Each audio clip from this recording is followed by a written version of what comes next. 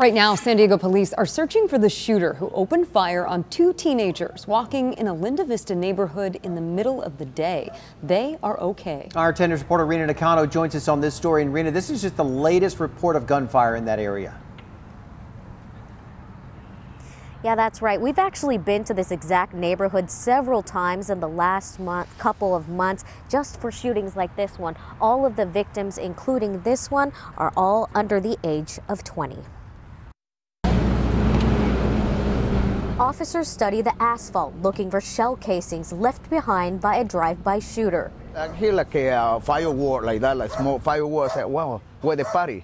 It's not a party. At around 12:30 p.m., Jesus Martinez heard the commotion and rushed outside, only to find this: his roommate's car completely destroyed.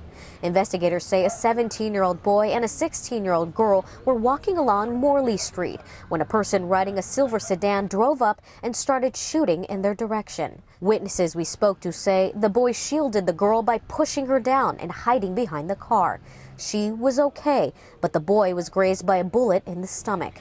Witnesses also saw the shooter fire several rounds into the sky before speeding off toward Linda Vista Road. It is frightening. Neighbor Gustavo Pena says his neighborhood is going through a rough patch. Surprising, it's escalated to this level. This is the fourth shooting 10 News has covered in this area in the last five months. On May 23rd, 16-year-old Carlos Valdovinos was shot and killed on Kelly Street. Then on June 14th, a 20-year-old man and a 15-year-old were shot at Valdovinos Makeshift Memorial. On August 7th, a 19-year-old man was shot in the arm at Kelly Street Park. And you have no idea what's going on. That is dangerous for uh, for everybody. Unsettling for neighbors who say they don't want to become the next innocent victim. If this is going to be a trend, of this neighborhood will be known for these kind of crimes. And my fear is it kind of gets ignored, and that's when people will believe, well, it's okay to do a crime in this area.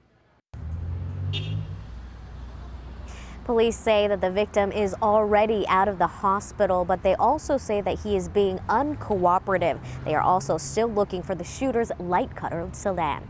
Reporting live in Linda Vista tonight, I'm Rina Nakano, 10 News. Rina, thank you.